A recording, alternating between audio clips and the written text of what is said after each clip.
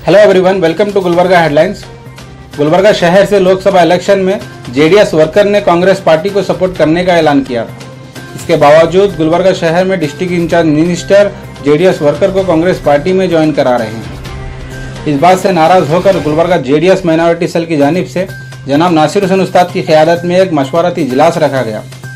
जिसमें जनाब नासिर हुसैन उस्ताद और जेडीएस वर्कर ने कांग्रेस पार्टी से अपनी नाराज़गी का इजहार किया। मैं आज के इस मीटिंग से कोई फैसला नहीं लूँगा।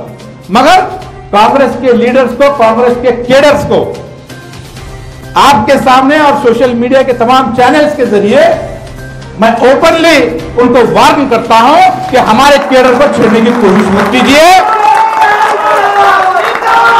अगर अगर कोएलिशन है, अलायंस है हम उसकी इज़्ज़त करते हैं और आप भी उसको इज़्ज़त करने की ज़रूरत है। आप अगर हमारे पीठ में छुरा बोकने का काम करेंगे, हमारे किसी केडर को अप्रोच करेंगे और आप चाहेंगे कि आप हो गया इलेक्शन अलायंस है आ जाओ, मिलेंगे काम करेंगे, बिल्कुल मिलके काम करेंगे।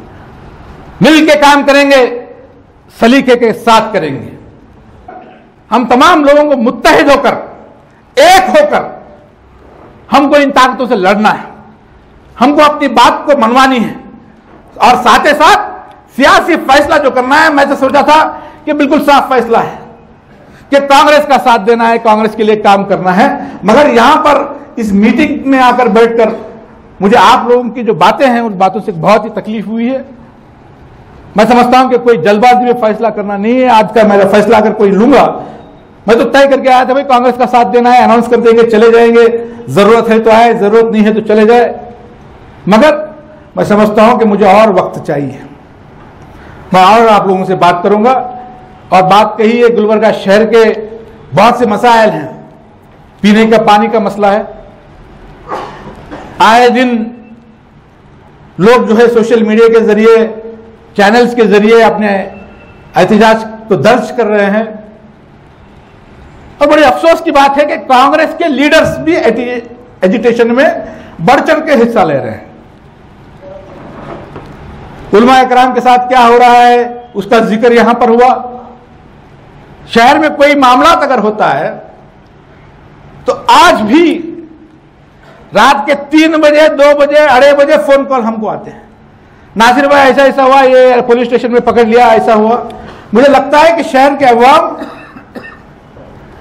ये भूल चुकी है कि एक एमएलए उनके पास है, उनको फ़ोन किया जाना चाहिए। मगर रात में दो बजे, एक बजे, बारह बजे एक औरत को फ़ोन करना गुलबर्गे की अवाम मुनासिब नहीं समझती इसीलिए फिर हमको ही फ़ोन करते और ये हमारी ज़िम्मेदारी है अलहमदुल्ला मैं इस बात को इलेक्शन से पहले भी कह चुका हूँ अभी भी कहता हूँ कि जब तक ज़िंदा हूँ कौम के लिए मैं जो भी कर सकता हूँ अवाम के लिए जो कुछ भी मैं कर, सक, कर सकता हूँ मैं करता रहूँगा चाहे इकतदार मिले या ना मिले।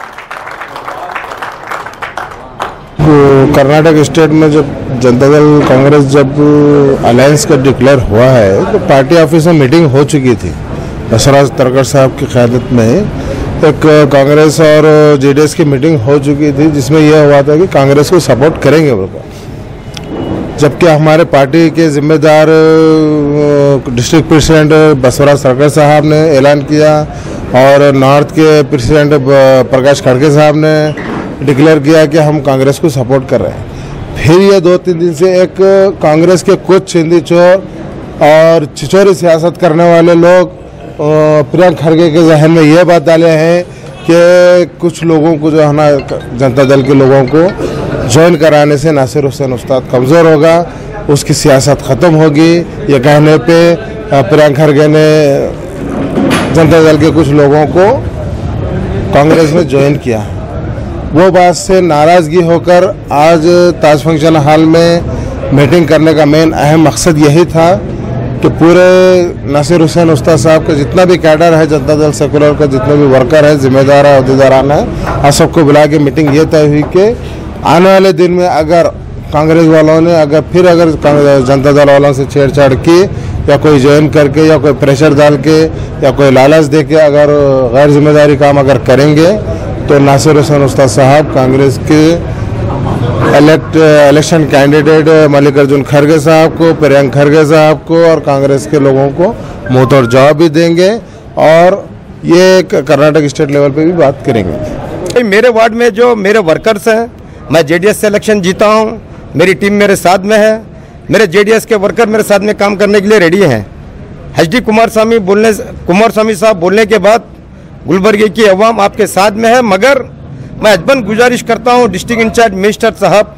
आपने नासिर हुसैन उस्ताद को बुला के मीटिंग करिए यहाँ के कॉरपोरेटर्स को बुला के मीटिंग करिए जेडीएस के जो वर्कर्स हैं, बुला के मीटिंग करके आप उनको सम्मान दीजिए इन ताला काम करने के लिए रेडी हैं। अगर आप ये सोच रहे हैं कि ये कॉरपोरेटर को नहीं बुलाया जाएगा, ये वर्कर को नहीं बुलाया जाएँगे तो वो आगे की बात हम नहीं बोल सकते। जिस तरह से कांग्रेस का कैडर काम कर रहा है, कांग्रेस के लीडर काम कर रहे हैं, जनता दल सेकुलर के कैडर्स के खिलाफ जो काम कर रहे हैं ये लोग ये नहीं समझ रहे हैं कि कर्नाटका स्टेट में जनता दल और कांग्रेस की अलायंस हुकूमत है। ये लोग वो काम कर रहे हैं। जनता दल सेकुलर के कैडर को तोड़ने का काम कर रहे हैं। यहाँ तक कि मुझसे भी अप्रोच हुए लोग कब ज्वाइन कर रहे हैं क्या ज्वाइन कर रहे हैं सब मिले जुले हैं। ज़रूरी नहीं है ज्वाइन कर कर काम करना। ये कांग्रेस के कैडर को समझ में आना चाहिए। यहाँ अलायंस गवर्नमेंट है। अगर ये चाहते हैं ये अलायंस बरकरार रहे, रहे गुलबर्गा शहर में तो अपने हद में रहे।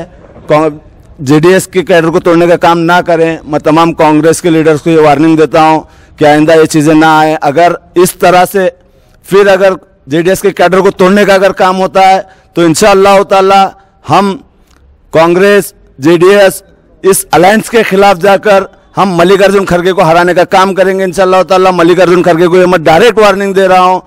अपने कैडर को संभालें और जनता दल सेकुलर के कैडर को तोड़ने का काम ना करें।